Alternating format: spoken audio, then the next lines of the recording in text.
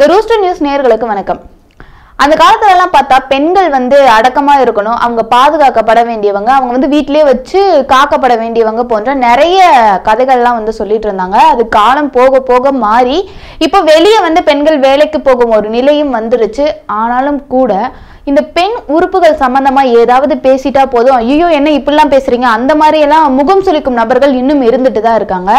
இந்த மாதிரியான ஒரு சூழ்நிலையில தான் பெண் உறுப்புகளை விளக்கும் ஒரு மியூசியம் ஒன்று முதல் முதலா உலகத்திலேயே கொண்டு வரப்பட்டிருக்கு. இது எங்கன்னு இந்த வீடியோல விரிவா பார்க்கலாம்.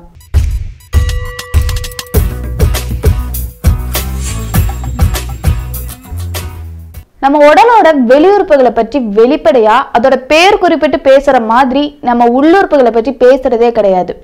இது பெரும்பாலும் ஆண்களுக்கு பொருந்தும் அப்படின்னு எடுத்துக்கிட்டா கூட பெண்களோட வெளியுறுப்புகளை பற்றி பேசுவதே முடியாத காலகட்டம் இது. அந்த வகையில அவங்களோட உள்ளுறுப்புகளை பற்றி எப்படி பேச முடியும்?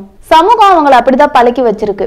அவங்கன்னு இல்லை எல்லாருமே இந்த சமூகம் அந்த ஒரு கட்டுப்பாட்டுக்குள்ளதான் கொண்டு வந்துட்டு இருக்குன்னே சொல்லணும். இதோட விளைவா அடுத்த தலைமுறையினரையும் வந்து பிரைவேட் பார்ட்ஸ் அப்படிங்கிற ஒரு வார்த்தைக்குள்ள கட்டுக்குள்ள அவங்க வந்து கொண்டு வந்துட்டு இருக்காங்க அதுக்கு பழக்கப்படுத்திட்டு இருக்காங்க இதனாலதான் பெண்கள் எல்லாருமே அவங்களுக்கு ஏற்படுற ஆரோக்கியம் சார்ந்த பாலியல் பிரச்சனைகளே வந்து வெளியே சொல்ல தயங்குற பெண்கள் எல்லாருமே பாலியல் வன்முறை சார்ந்த பிரச்சனைகளை எப்படி வெளியே சொல்ல போறாங்க? அந்த காலத்துல பெண்கள் எல்லாருமே பருவம் அடைஞ்சதுமே வந்து அவங்க வீட்டுக்குள்ளேயே தான் இருக்கணும். அதுவும் ஒரு மூலையில இருக்கணும். எந்த பொருளையுமே தொடக்கூடாது போன்ற சாஸ்திரங்கள் சடங்குகள்லாம் நிறைய இருந்து வந்தது.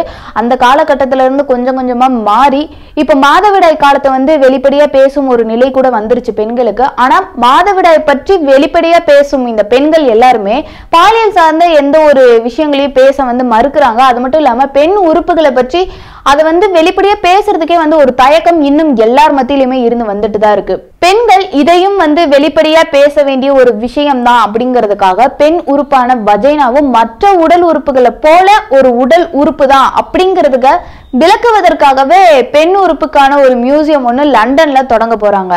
இந்த பெண் உறுப்புக்கான அருங்காட்சியகத்துல வந்து என்னென்ன வைக்கப்பட்டிருக்கும்னு சொல்றாங்கன்னா பெண்களோட பிறப்பு உறுப்புகளுக்கு உள்ளே இருக்கும் முக்கிய பாகங்களான சினைப்பை கருப்பை வஜைனா போன்ற பெண் உறுப்புகள் மற்றும் கருக்குழாய்கள் போன்றவை சிலை வடிவத்துல வந்து வடிவமைக்கப்பட்டு அந்த அருங்காட்சியகத்துல வைக்கப்பட்டிருக்கிறதா தகவல்கள்லாம் வெளியாயிருக்கு.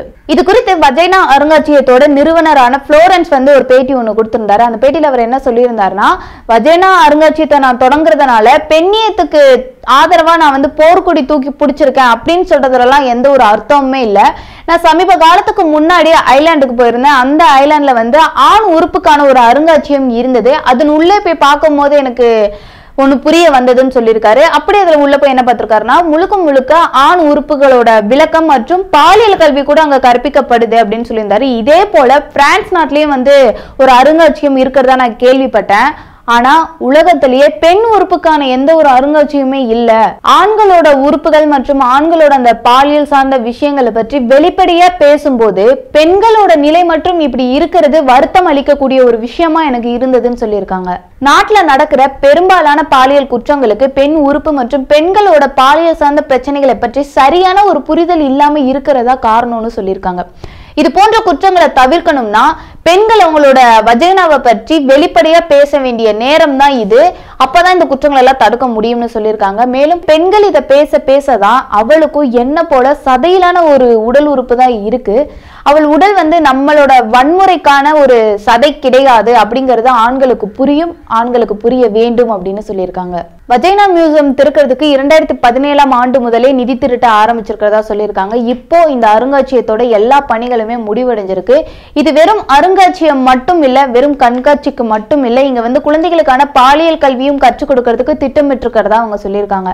மேலும் பெண்கள் வந்து அவங்களோட உடல் சார்ந்த அவங்களோட உறுப்புகள் சார்ந்த நிறைய விஷயங்களையும் மேலும் அது தொடர்பான ஆரோக்கியம் செக்ஸ் போன்ற எல்லா தகவல்களையுமே மருத்துவர்களோட ஆலோசனையுடன் வழிகாட்ட நாங்கள் வந்து திட்டமிட்டிருக்கிறதா அவங்க சொல்லியிருக்காங்க.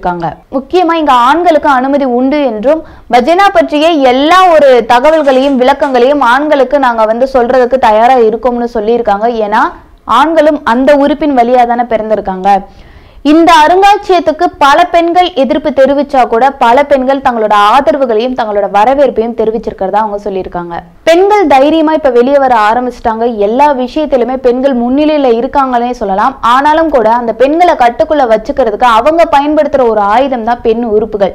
இப்போ அதை பற்றியும் வெளிப்படையா பேச ஆரம்பிச்சுட்டா பெண்கள் இன்னும் வளர்ச்சி அடைவாங்கங்கிறதுல எந்த ஒரு சந்தேகமும் இல்லைங்கிறத சொல்லிட்டு உங்களிடமிருந்து விடைபெறுவது த ரூஸ்டர் நியூஸ் டீம் மேலும் இது போன்ற செய்திகளுக்கு த ரூஸ்டர் நியூஸ் சேனலை சப்ஸ்கிரைப் பண்ணவும் நன்றி. வணக்கம்.